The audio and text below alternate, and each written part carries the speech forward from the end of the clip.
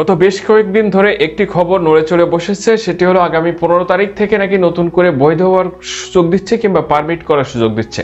প্রতিনিয়ত আপনারাই কিন্তু ইনবক্সে মেসেজ করছেন এবং একই সাথে হোয়াটসঅ্যাপে মেসেজ করে জানতে চাচ্ছেন, আগামী পনেরো তারিখ অর্থাৎ বুলান লাপানের পনেরো তারিখ থেকে কি নতুন করে পারমিট করার সুযোগ দেবে? যদিও কিনা দেয় কোন সিস্টেমের মাধ্যমে দেবে। সে বিষয়ে আজকের ভিডিও বিস্তারিত কথা বলব এবং একই সাথে হাতে হাতে পাসপোর্ট প্রদান সহ আনুষঙ্গিক বিষয়ে বাংলাদেশ হাই কমিশনের পক্ষ থেকে নতুন বিজ্ঞপ্তি দেওয়া হয়েছে, সে বিষয়েও আপনাদের মাঝে শেয়ার করব। তো আশা করি ধৈর্য সহকারে ভিডিওটি শেষ পর্যন্তই দেখবেন। বন্ধুগণ, প্রথমেই কথা বলব, হাতে হাতে পাসপোর্ট প্রদান প্রসঙ্গে বাংলাদেশ হাই কমিশনের পক্ষ থেকে যে বিজ্ঞপ্তি দিয়েছে সে বিষয়ে বিস্তারিত।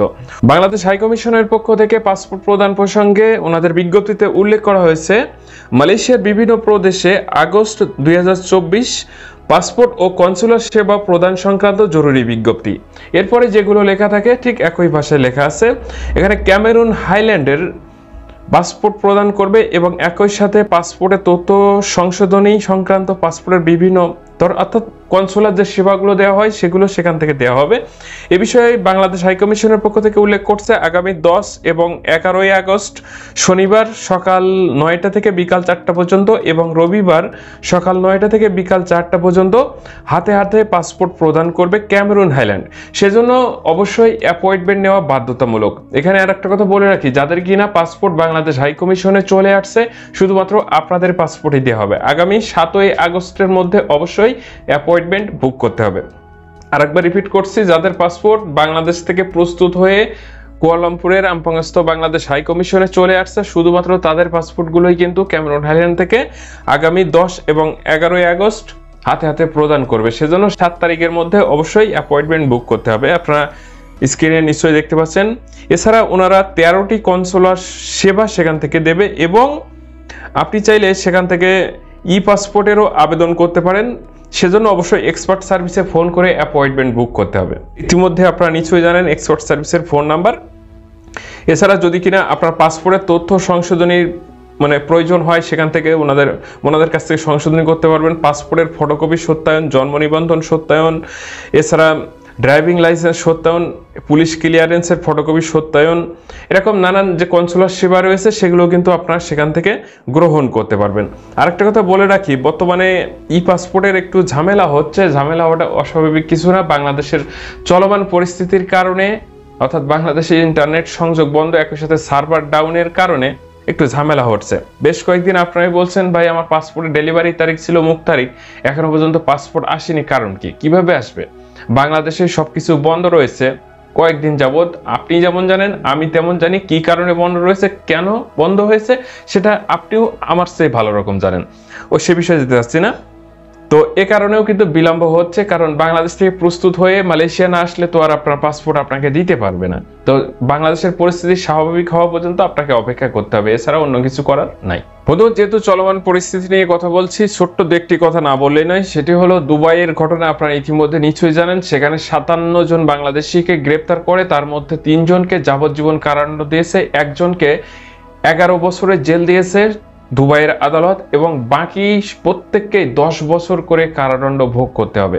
তিনজনকে যাবজ্জীবন কারাদণ্ড ভোগ করতে হবে এবং বাকিদের মধ্যে একজনের এগারো বছর, বাকি সবাইকে দশ বছর কারাভোগ করার পরে ব্ল্যাক লিস্ট খেয়ে তারপরে নিজ দেশে ফেরত আসতে হবে, অর্থাৎ বাংলাদেশে যেতে পারবে। তো প্রত্যেকটা দেশের আইন কানুন রয়েছে, শুধুমাত্র দুবাই নয়, সৌদি আরবেও কিন্তু তিরিশ জনকে আটক করছে, তবে কত জনের কত বছরের সাজা হয়েছে বিষয়ে কিন্তু এখনও বিস্তারিত জানা যায়নি। যে দেশের যে আইন সে আইন অনুযায়ী কিন্তু আমাদের চলতে হয় কিংবা আমাদের চলতে হবে। মালয়েশিয়াও কিন্তু অনুমতিবিহীন কোনোভাবেই এরকম মিছিল মিটিং করা কোনোভাবেই সম্ভব না। যদি কিনা পুলিশ প্রশাসন অনুমতি দেয়, তখনই শুধুমাত্র আপনারা যেটা করার দরকার সেটাই করতে পারবেন। যদি অনুমতি না থাকে, তাহলে কিন্তু গণহারে গ্রেপ্তার হতে পারে। তো সে বিষয়টা একান্ত আপনার ব্যক্তিগত। আমার জায়গা থেকে মনে হয়েছে, এ বিষয়ে ছোট্ট করে কথা বলা উচিত, শুধুমাত্র আপনাদের মাঝে শেয়ার করছি মাত্র। তবে সেক্ষেত্রে আপনি চাইলে ফেসবুক টিকটক ইউটিউব যে সোশ্যাল সাইট রয়েছে, সেখানে আপনার ব্যক্তিগত মতামত জানাতে পারেন। আরেকটা বিষয় আমি বুঝি না, আপনারা গালি গালাজ কেন করেন? গতকাল একটা ভিডিও করছি সেখানে গালি গালাজ করছেন। ভাই, গালি দেওয়া লাগবে কিসের জন্য? গালি দিলেই কি সমাধান? নাকি গালি দিয়ে ভাই আপনারা আপনাদের ফ্যামিলির পরিচয়টা সামনে নিয়ে আসতে চান? গালির চেয়ে যদি কোনো ভুল বলে থাকে, সেটা সমাধান এক্সপ্লেন করবেন। এটা আমার মতামত। কারণ আমার ফ্যামিলির থেকে গালি গালাজ শেখায় নাই। গালি দিয়ে কি কাউকে কোনো কিছু বোঝানো যায়? আর আমার ভিডিও কি কাউকে গালি দিয়েছি? না। তাইলে ভাই গালি গালিগালাজ কেন করবেন? আর আরেকজন কমেন্টস করছে, ভাই, দেশ নিয়ে কথা বলার প্রয়োজন নাই। ভাই, দেশ নিয়েই যদি কথা নাই বলি তাহলে কোন বিষয়ে কথা বলব? আর নিজের দেশ নিয়ে যদি কথা বলে, যদি রাজাকার হয়ে যেত তা আমি খুশি। তাতে আমার কোনো দুঃখ নাই। কারণ আমি এখানে কারোর বদনাম করি না, কোনো কাউকে সাপোর্ট করি না। আমি কারোর দালালি করতেও আসি আসিনি। যাই হোক ভিডিওর টপিক চেঞ্জ হয়ে যাচ্ছে, অন্য বিষয়ে চলে যাচ্ছে। বিষয়ে কথা বলতে গেলে অনেকক্ষণ কথা বলা যাবে।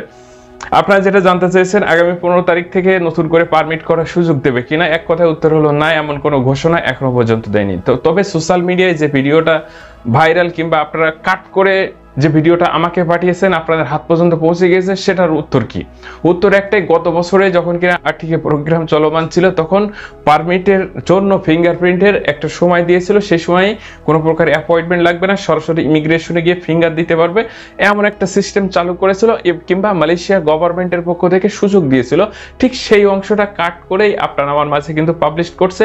আপনি যেমন আমাকে পাঠিয়েছেন, অনেকেই পাঠিয়েছেন তো বিষয়টা ঠিক এতটুকুই। তবে আজ মালয়েশিয়া ইমিগ্রেশন বিভাগের পক্ষ থেকে একটি ঘোষণা দিয়েছে, সেটা হলো, আমি আপনাদের পরে একটু শোনাই তাহলে না হলে মনে করবেন যে আমি মালাই ভরতে পারি না নোটিশ পেন্টিং কপাটা সুমা মাজিকান তোয়ান তোয়ান ডান প্রম্পান বলে মঞ্চেতাক ই পাস বাগি, তাহুন পেতামা, মুলাই সেকারাং তার মাসুক প্রোগ্রাম আটিকে অর্থাৎ সকল মাঝিখানের দৃষ্টি আকর্ষণ করছে।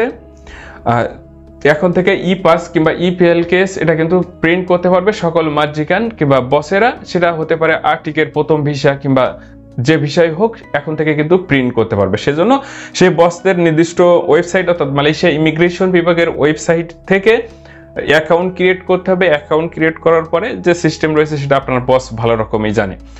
কারণ অনেক সময় কিন্তু স্টিকার আসতে কিংবা টাকা পয়সা জমা দিলেও স্টিকার হতে দীর্ঘ একটা প্রসেস কিংবা সময় লেগে যায়। যাতে করে দ্রুত সময়ের মধ্যে তাদের শ্রমিকদের ভিসা হাতে দিতে পারে কিংবা ভিসার কাজ কমপ্লিট করতে পারে, সেজন্য অনলাইন সিস্টেম কিংবা ডিজিটালাইজেশন যেটাকে বলা হয়, সেই সিস্টেমের মাধ্যমে আপনার পারমিটটা আপনি হাতে পান। সে উদ্দেশ্যে মালয়েশিয়া ইমিগ্রেশন বিভাগের পক্ষ থেকে এই সিদ্ধান্ত গ্রহণ করছে। বন্ধুগণ, যেহেতু ভিসা সংক্রান্ত বিষয়ে কথা বলছি, আপনাদের উদ্দেশ্যে বলতে চাই, যাদের কিনা আর্টিকে টু পয়েন্ট জিরোর আন্ডারে রেজিস্ট্রেশন ফিঙ্গারপ্রিন্ট সবকিছু কমপ্লিট এক কথায় কোম্পানির কোটা পর্যন্ত লুলুস হয়ে আছে। লেবি জমায়ের শেষ সময় কিংবা লাস্ট ডেট কিন্তু অলরেডি ঘোষণা করেছে মালয়েশিয়া গভর্নমেন্টের পক্ষ থেকে।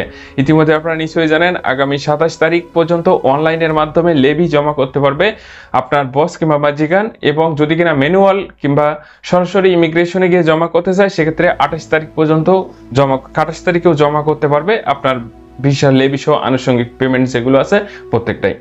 তবে সেজন্য কিন্তু আপনার বসের কিংবা আপনার কোম্পানির অবশ্যই কোটা লুলুস হতে হবে। এটা আপনি আমি প্রত্যেকে জানি, আরও একবার আপনাদের স্মরণ করে দিচ্ছি। আর নতুন পারমিট কিংবা ভিসা সংক্রান্ত বিষয়ে যদি কোনো আপডেট কিংবা ঘোষণা আসে, সেটাও পরবর্তীতে আপনাদের জানিয়ে দেওয়ার চেষ্টা করব। মালয়েশিয়ায় যে কোনো বিষয়, যে কোনো কিছু কিন্তু যে কোনো সময় ঘোষণা আসতে পারে এটা অস্বাভাবিক কিছু না।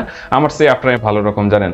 আমি হয়তো এখন একটা বিষয়ে কথা বলছি, আগামীকাল সেটা আবার পরিবর্তন করা লাগতে পারে কিংবা পরিবর্তন হইতেই পারে। এটা অস্বাভাবিক কিছু নয়। তবে এখনও পর্যন্ত মালয়েশিয়া গভর্নমেন্টের পক্ষ থেকে নতুন করে ভিসা সংক্রান্ত বিষয়ে কোনো প্রকার ঘোষণা দেয়নি। এরকম কোনো ঘোষণা কিংবা নিউজ আসেনি, তবে শোনা যাচ্ছে মার্কেটে যে এরকম হতে পারে।